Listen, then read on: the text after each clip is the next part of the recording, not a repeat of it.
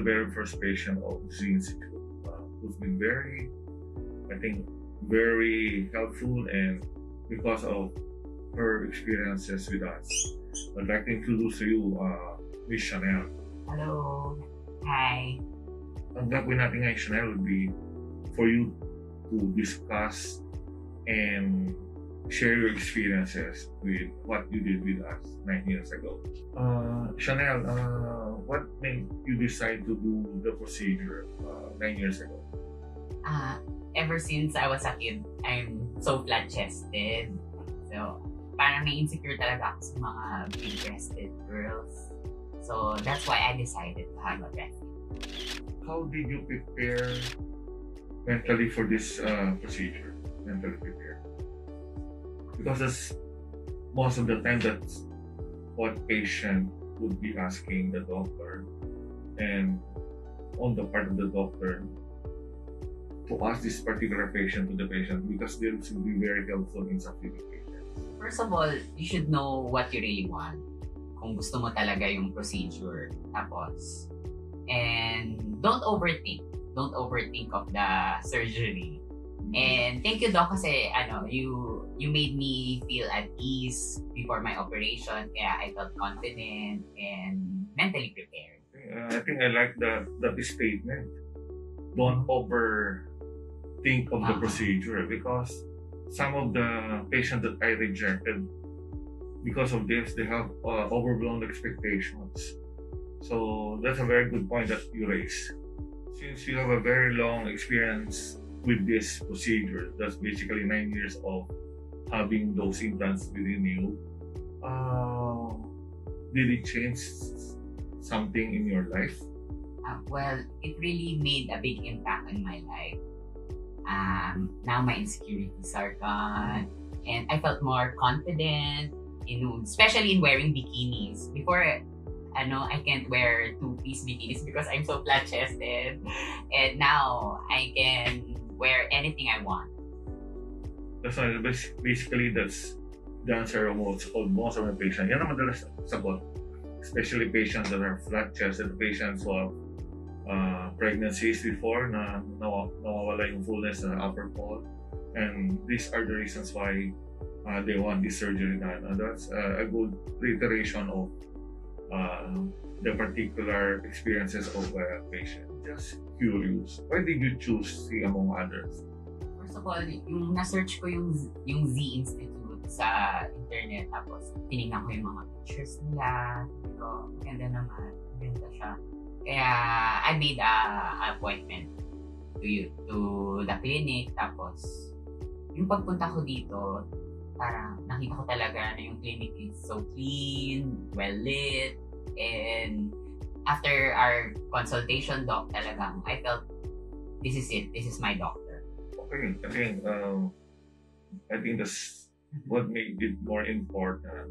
I'm not saying you have to go to me, but then you really have to choose your doctor. That would be the most important thing to consider when you're going to undergo a certain procedure, not just personalization. What is your experience with the clinic after the procedure? Through all these years that you've been seeing us for follow-up, uh, can I ask you how is your experience with that? My so we experience- can in, also improve in terms of how we uh, deal with succeeding patients. Well, my experience with Zi is parang, I felt home, at home in your clinic. Because your staff is so friendly and nice and approachable silang lahat. I think that's very important to know because we need to improve if ever there's a need to improve on a certain aspect in the operation of our clinic. Thank you, thank you, Chanel. Are you happy with the result of what I did with you nine years ago? Yes, definitely, Doc. Kasi uh, it's better than I expected. Talagang natural siyang tingnan, malambot. Saka talagang na-boost talaga yung confidence ko, Doc. Thank you so much. Yeah, uh, that's what I tell patients. Initially, they're quite uh, concerned about the firmness, but then I tell them in time with the regular massage, it will soften. Uh, it will become more natural. One of the reasons why it will, I did put in an implant that's suitable to your frame because some patient would like a bigger implant and it would make it more very unnatural. So choosing the right implant and as I've said, choosing an FDA approved implant would really help us achieve what the patient would want.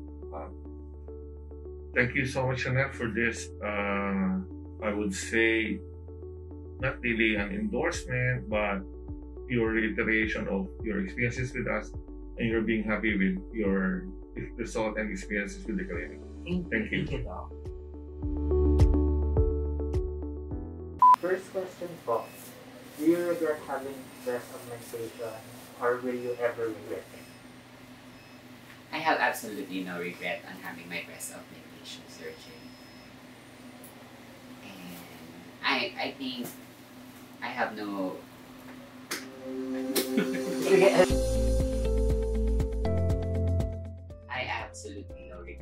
having my breast augmentation surgery. And I don't think I would regret anything about it because they say that breast implants are for lifetime. Now I have my two babies with me, BFF for life. My advice for for people who wanted to have breast augmentation is research, research, research, research.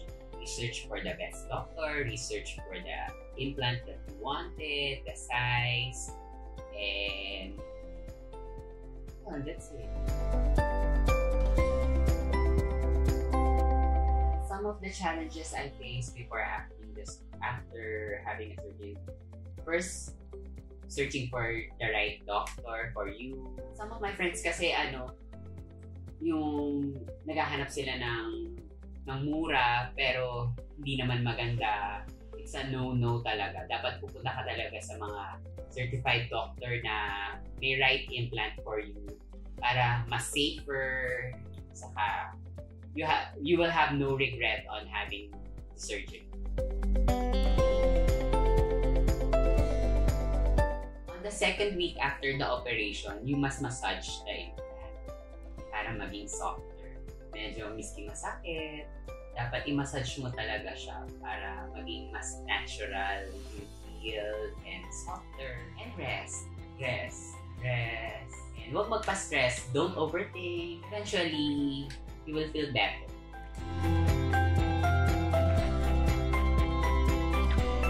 Dapat siguro alamin mo muna kung ano yung gusto mo. Kung ano gusto mo mangyari. Talagang, yun, assert yourself. Kung ito ba talaga ang gusto ko, gusto ko ba natural looking or fake boobs na bababoom talaga. Kaya dapat alam mo kung ano yung gusto mo para pag sinabi mo sa doctor mo na ito yung gusto ko doc, para ma-explain din rin at maalaman niya kung ano yung dapat gawin sa and emotionally and financially prepare for it. If you're planning to have breast augmentation surgery, you should research, research, research. Kung alam mo talaga sa sarili mo na yun talaga ang gusto mo, just do it. Go for it. Yun lang.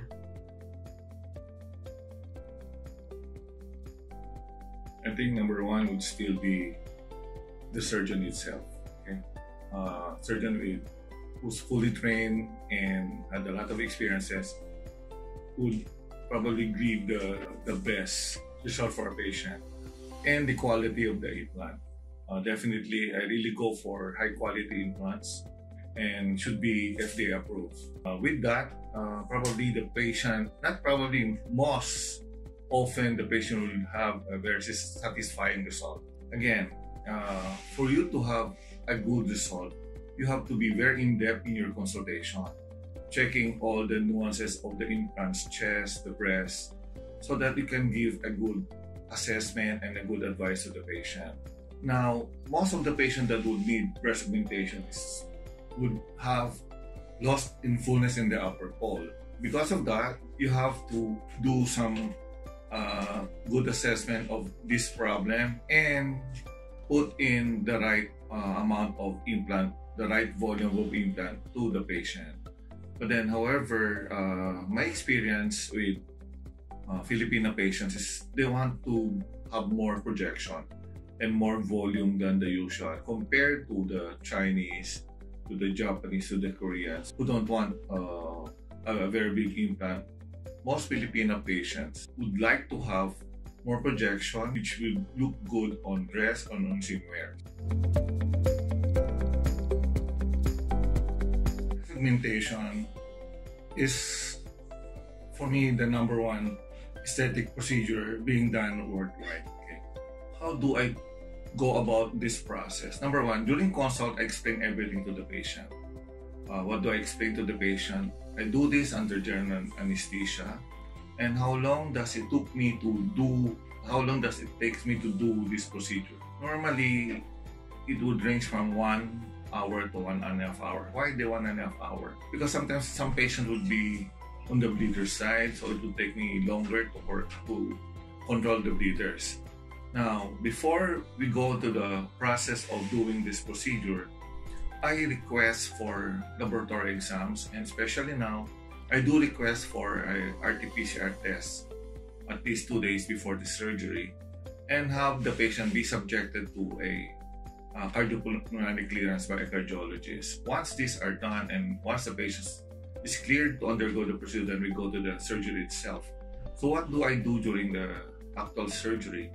Uh, again, I, I do again an initial uh, consult, initial consultation, just like what I do before the patient scheduled for surgery, re- reiterating the uh, important points of this procedure. Then the patient will be brought to the to the operating room. I do my markings, and the patient is fully prepped before the patient lies down on the bed on the operating table. Uh, my preferred incision is the inframammary. Why is this so? Because with the inframammary approach, there would be less chance of you going through the breast tissue, which could be can give you a problem. Okay? There are three approaches: the inframammary or the the fold incision, the areola, periareolar, which is the incision in the areola, half moon um, beneath. In it's in the junction between the areola and the skin, and the axillary.